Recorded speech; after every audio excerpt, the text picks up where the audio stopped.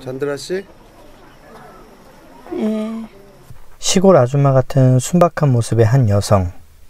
근데 뭔가 좀 어리숙하고 어눌해 보이는데요.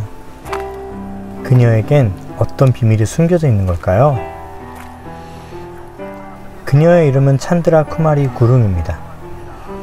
찬드라는 산스크리트어로 빛나다 혹은 달이라는 뜻이고요. 쿠마리는 네팔의 살아있는 신으로 쿠마리의 집 앞에는 살아있는 신을 보기 위해 모인 사람들로 언제나 붐비죠.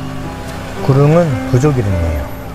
네팔 사람들의 성은 피부색, 인종, 카스트의 지위 등 많은 것들을 알려주는데요. 구릉족은 몽골족으로 한국 사람들과 아주 비슷하게 생겼습니다. 분명 주머니에 돈이 있었는데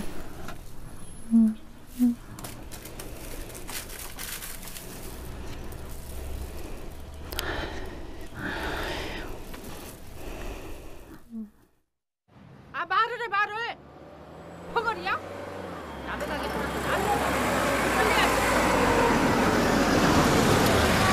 그땐요 그 외국 사람이라고는 꿈에도 생각하지 못했어요 생긴 게 우리하고 똑같잖아요 그 한국말도 좀 하고요 그 네, 네, 네팔 사람을 우리가 어디서 한 번이라도 본 적이 있어요? 라면값 냈어요? 안 냈어요? 음. 한국말이 서툰 찬드라는 경찰까지 와서 다그치니 더 말문이 막힙니다. 음. 아이고.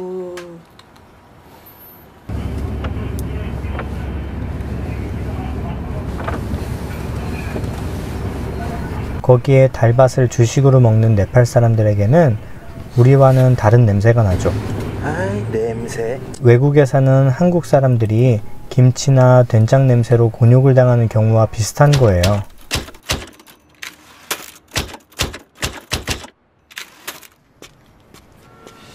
똑바로 말을 해야 할 거 아니에요. 똑바로.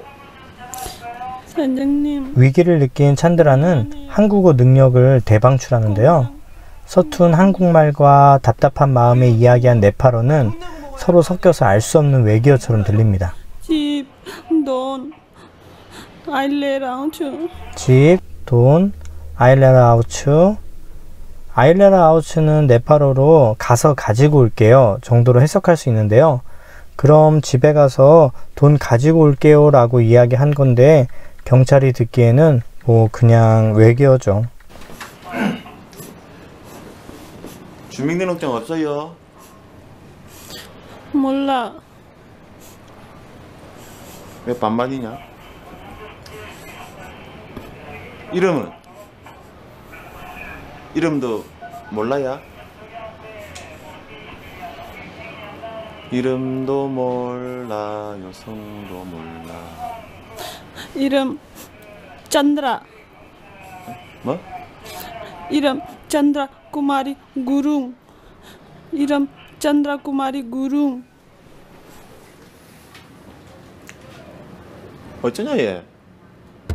그렇게 그들은 너무 쉽게 찬드라를 장애가 있거나 정신적으로 문제가 있다고 판단해 버리죠. 우리 안에 있는 차별적 사고가 작동하는 거죠.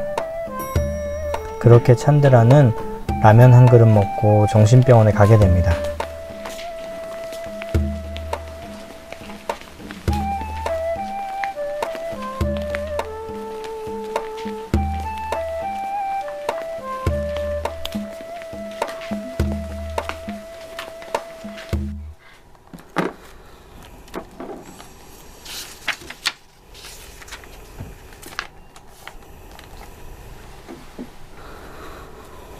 저녁 드셨어요? 음, 안 드셨어요? 음, 저 좀 보실래요? 아주머니 얼굴 한번 들어보세요. 음.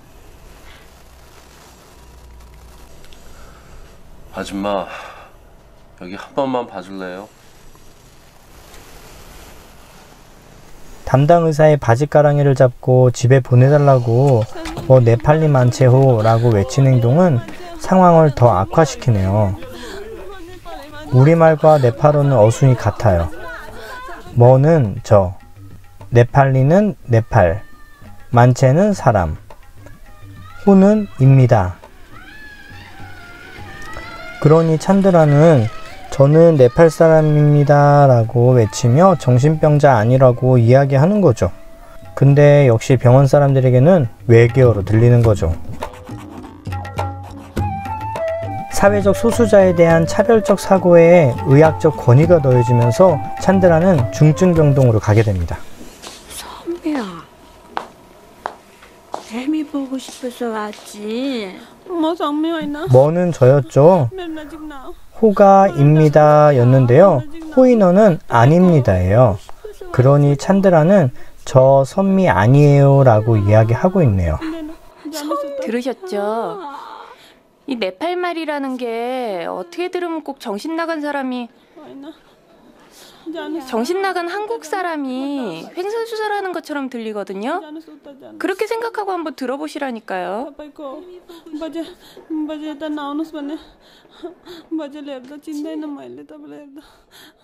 그런데 이 사건 이후 찬드라는 할머니가 찬드라를 딸로 생각하며 선미야라고 부른 이름 선미야가 됩니다. 선미야 씨.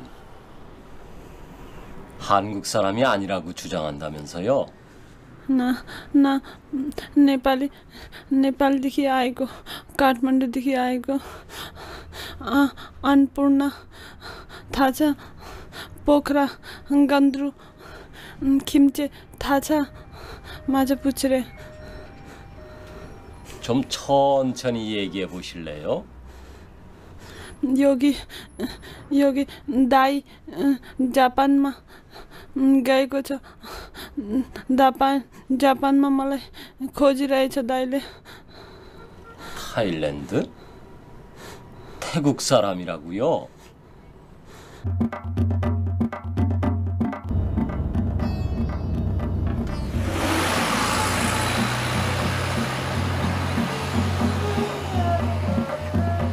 그렇게 8개월을 더 정신병원에 갇힌 찬드라는 서울 시립 부녀보호소에 가게 되지만 병을 고쳐서 보내야지 그냥 막 보내면 우린 어떡하라고요. 여기가 병 고쳐주는 데가 아니잖아요. 아유 미치겠네 정말. 증세가 호전되긴 뭐가 호전돼요. 지금 일주일째 자기가 네팔 사람이라고 우기고 있는데.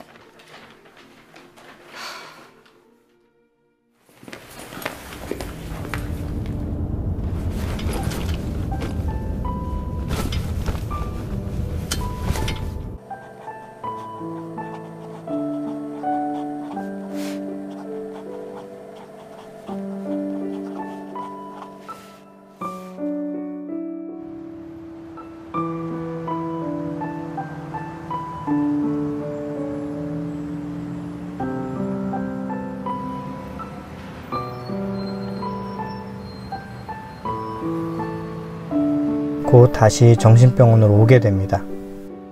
그렇게 5년이 더 흘러갑니다.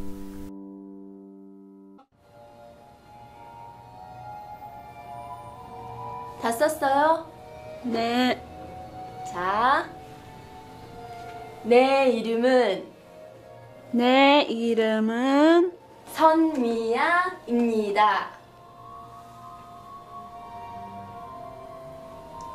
선 미야입니다. 잔드라입니다. 에? 예? 내 이름은 에?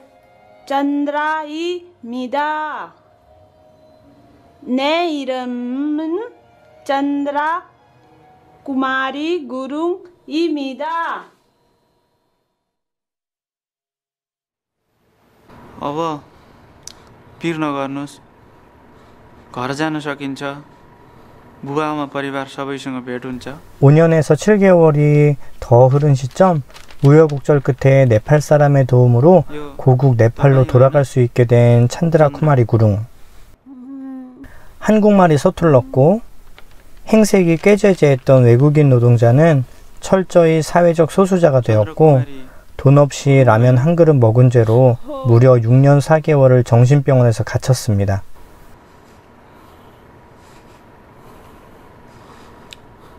누군가를 비정상으로 규정하는 차별적 사고와 불평등과 차별을 은연중 지지하며 특정 계층이나 집단에 대한 격리와 통제를 모른 척하는 모습에서 우리는 얼마나 자유로울 수 있을까요? 찬드라에게 일어난 이 모든 일들이 믿기지 않으신다고요? 그래서 감독은 이 영화의 제목을 이렇게 지었나 보네요. 경계 없는 학교였습니다.